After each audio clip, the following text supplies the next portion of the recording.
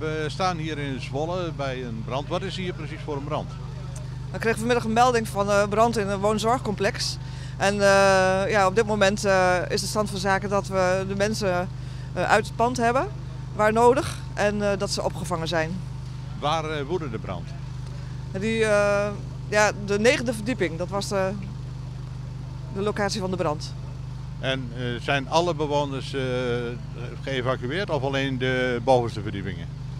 Eh, in totaal hebben we vier verdiepingen geëvacueerd. Weet u over hoeveel personen dat gaat? Nee, dat hebben we nu nog niet in beeld. Zijn er gewonden? Eh, het slachtofferbeeld hebben we nu nog niet. We weten wel dat alle mensen naar buiten zijn. Eh, ja, meer informatie volgt daar nog over. De brand was vrij snel onder controle. Ja, dat klopt inderdaad. Na de melding had de brandweer de brand al vrij snel onder controle. Maar we zijn natuurlijk nog wel een tijd bezig met ja, mensen naar buiten brengen. En eh, overbrengen naar de terp en eh, allerlei andere werkzaamheden die daarbij horen. Heeft u enig idee wat er precies gebrand heeft? Nee, die oorzaak hebben we nu nog niet in beeld. Daar is het nog te vroeg voor. Het is een groot gebouw. Uh, gaat dat problemen met al de oudere, toch oudere bewoners? Het is een woonzorgcomplex inderdaad. Ehm, nou, de evacuatie is op zich goed verlopen. Maar wat daar voor bijzonderheden nog rondgespeeld hebben, dat heb ik nu nog niet in beeld.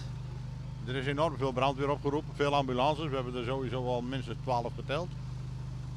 Was er voorzorg? Zeker, een woonzorgcomplex eh, nemen we geen eh, halve maatregelen. Dan kunnen we beter eh, wat groter opschalen en daarna weer snel afschalen dan dat we te weinig mensen hebben.